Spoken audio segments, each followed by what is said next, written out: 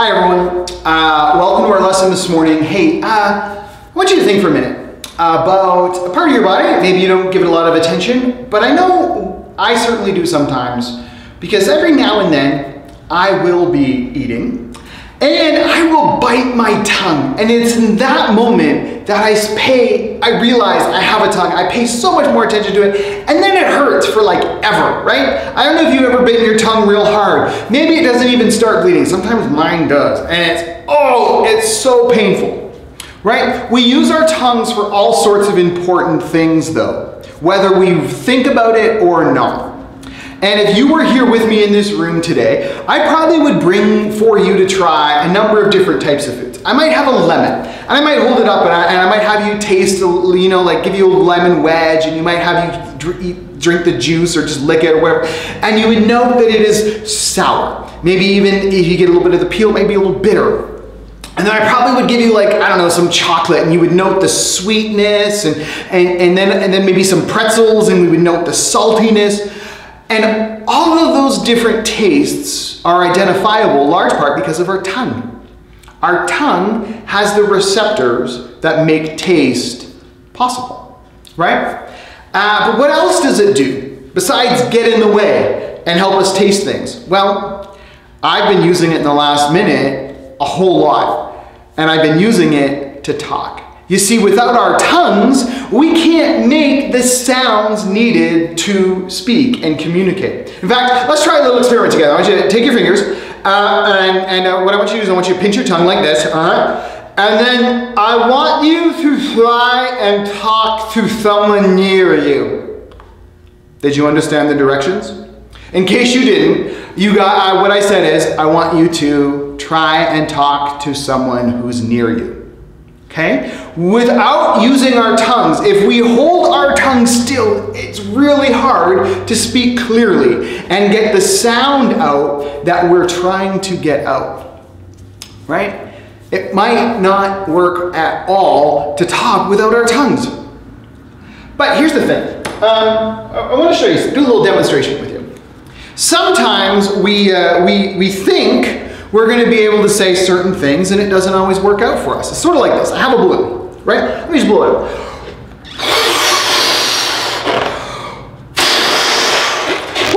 With all the smoke in the air, I didn't think I'd be able to blow that up. So, all right, look, now what happens if I let this balloon go? I'm not, I don't want to pop it, but I just, if I let it go, what happens, right? It flies around the room. I have no control over where it goes. I was hoping it would have gone like straight that way and just gone across the room. But what? It just fizzles and, and moves around until it runs out of air. Let's try one more time. Okay, you got another balloon.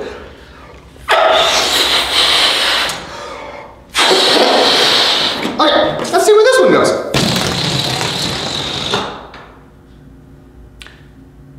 There it goes, right? I can't control where it goes. It just goes. Sometimes it feels like our tongue's doing the same thing. When does that happen? Well, let's try saying some things together, all right? I'm gonna put some words right here, and you see if you can say them three times really fast, all right? The first one's this. Sam shaved seven shy sheep.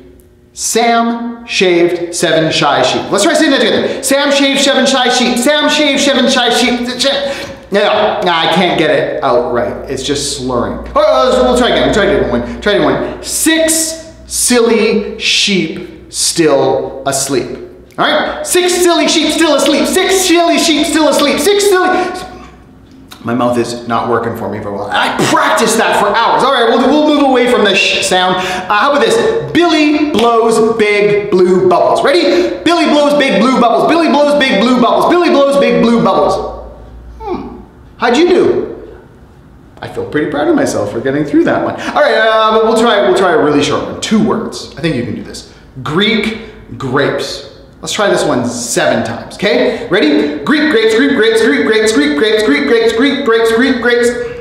I think I said grape a whole lot, which isn't a word. But anyways, sometimes our tongues don't really work the way we would want them to. We can't quite get the right words out.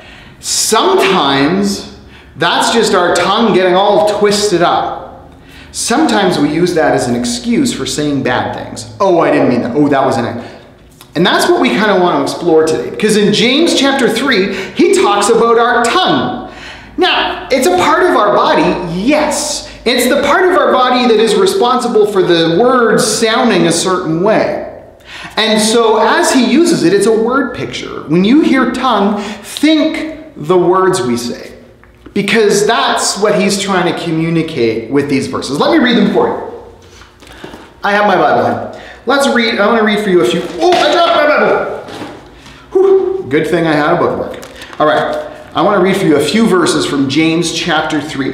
And it says this The tongue is a small part of the body, but, uh, but it makes great boasts. Consider what a great forest is set on fire by a small spark.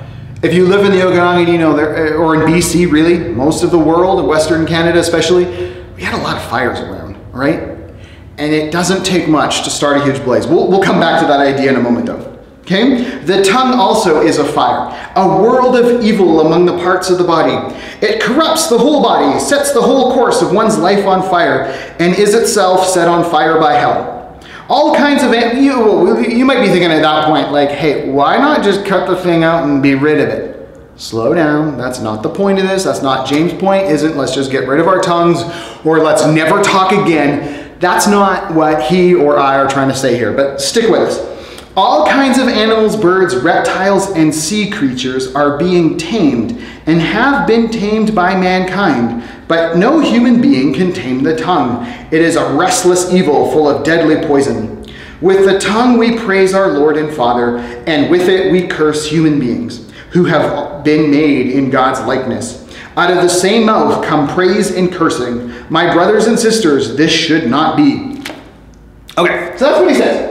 He's talking about the words we use and how we make them and what, where do they come from.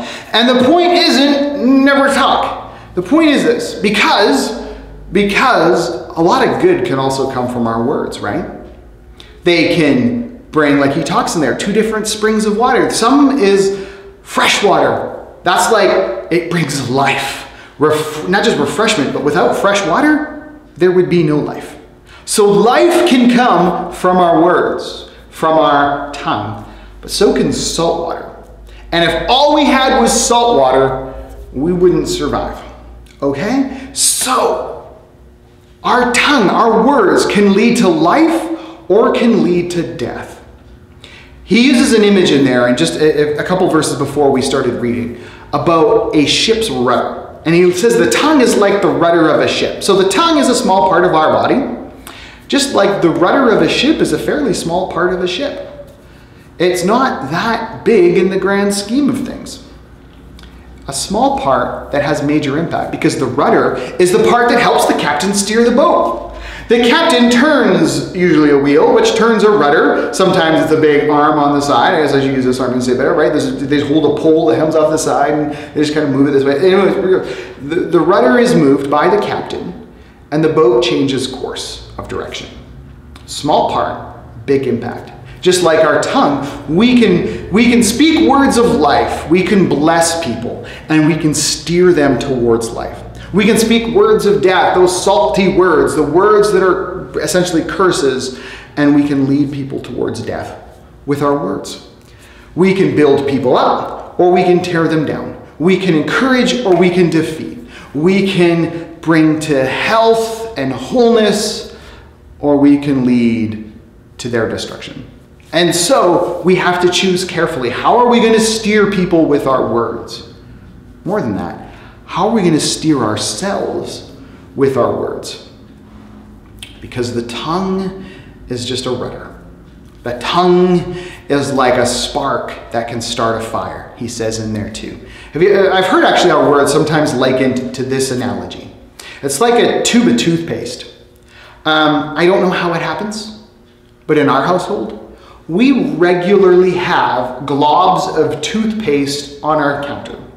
I'm not pointing fingers at anyone, but it happens. It's almost never the type of toothpaste that I use, but that's another story, okay? It toothpaste ends up on the counter. Have you ever tried putting toothpaste back in a tube? It's nearly impossible, right? It is. You squeeze it out, it doesn't go back. It's a one-way thing. And our words are kind of like that, right? We speak and we don't really get to control what happens next. It's like those balloons. We let them go and they go their own way. We speak and then if it hurts people, it's there. You can't take it back. People might misunderstand us and we can try and correct it, but it doesn't always work. We should be careful how we speak because if our tongue is out of control, a whole lot of hurt can happen. So how do we tame our tongue? He talked in there, James talked in there, he referenced the fact that so many animals are being tamed. He says yeah, it's kind of impossible to tame the tongue, but is it? Or does it just require some work? How do we tame it? Because on its own, it's actually nothing. I have to move it. I have to move my tongue. You have to move your tongue. It doesn't have a mind of its own, contrary to what some might say. It's just a collection of muscles. It's nothing without something moving it. So the question is what moves your tongue? What causes it to speak and to make the sounds? You see, the real point is this, uh, and what James is kind of alluding to is that we have to pay attention to what's on the inside. Because what's on the inside, what's in our mind, what's in our heart, how our emotional health, our mental health, all of that has an impact on what we say. So we need to pay attention to the inside. Jesus addressed it this way. He uh, called out some religious leaders in his day, and he called them whitewashed tombs that are pretty on the outside, but full of decay on the inside. You see, they had this practice in Jesus' day. They would often bury people in a cave. And, uh, well, as you probably can guess, when you put people in a cave, they rot there's then disease present as the body decomposes. It stinks, it's nasty, it's really gross.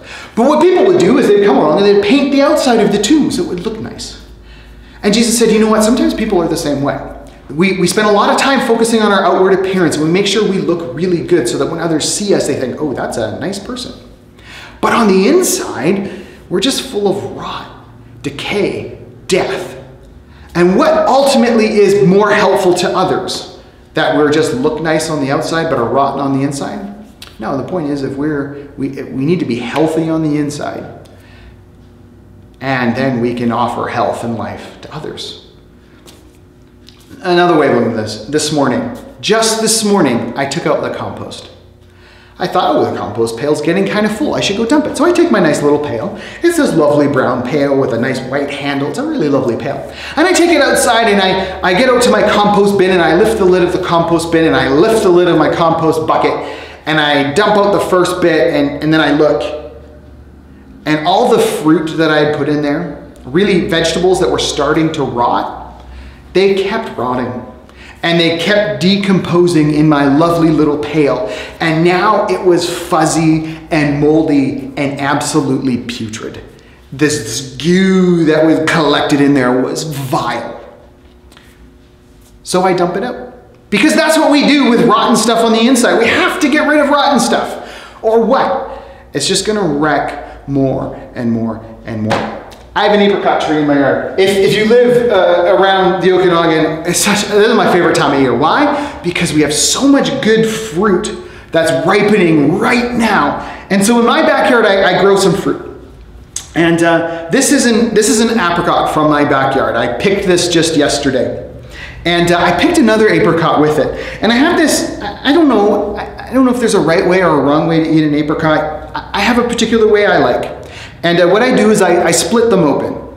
And uh, I'm not, this is not a how to eat an apricot thing. You might think this is weird, but this is just what I've, I don't know, something I, I started to do. I just kind of rip it open like that. And I, so, and then I, I kind of like to just pop these in uh, as a whole, which probably is gross and you might think is kind of rude, but that's what I did. And, and I had this apricot, and oh my goodness, it was just such a beautiful orangey yellow, and, and the fruit just looked absolutely amazing. And I thought, this is gonna be, I love apricots. When they're ripened on the tree and they're just so soft and mm, they're just amazing. And so I take this apricot, it looked absolutely beautiful it just looked like I thought this is gonna be a treat. I'm so excited because they're just finally ready. And I ripped it in half and I looked and there was a big spot of black mold.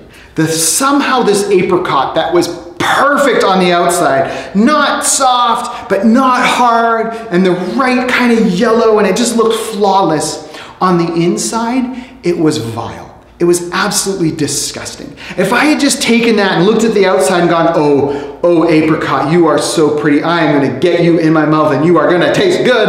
And if I just bitten it in half, I'd have been, I'd been vomiting all over the place. It would have been so nasty.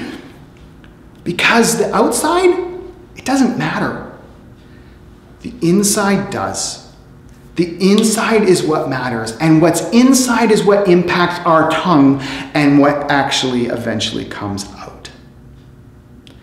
So, as Jesus was saying with those religious leaders, we've got to pay attention to the inside. What, what James is saying and talking about our tongues isn't just about what we say. We got to pay attention to where our heart is at, what kind of stuff we're feeding our mind because that impacts what comes out.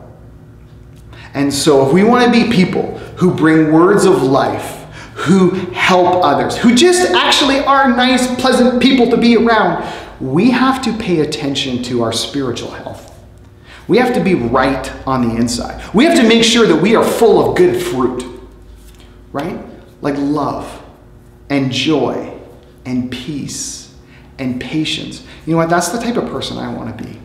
Those are the people I like hanging out with. Those are the people that when I'm having a hard day, I know I can go to a person of peace and I can say, hey, here's, here's where I'm at. And they often have a good word that brings me towards life. Those are the people we need. Those are the people actually Jesus calls us to be. Right? And how do we get there? We have God's Spirit in us. God in us, alive in us, helps us become people who are full of healthy fruit. Not the fruit like I almost ate yesterday, not the fruit like what was in my compost pail, but good fruit. Fruit like that apricot I just split in half, and you better believe I'm eating that the second this camera goes off, right? Good fruit. Life giving fruit. We need God's Spirit alive and active in us. Then we get there. Then, because without, without that, even if we had, we're at a good place at one day, at one point in time, but we've not done anything to maintain that, then that eventually turns rotten too. James offers a few practical helps, kind of some ways to help uh, be sensitive to God's work within us. And the first thing he goes on to talk about in the next chapter, in chapter four, is he talks about how, uh, as followers of Jesus, we need to be humble people. So we avoid pride, we avoid arrogance. In other words, we recognize that we are uh, healthy because of God's work within us. We don't go around saying, Yes, I'm so good. Oh, I'm so great. I'm so wonderful.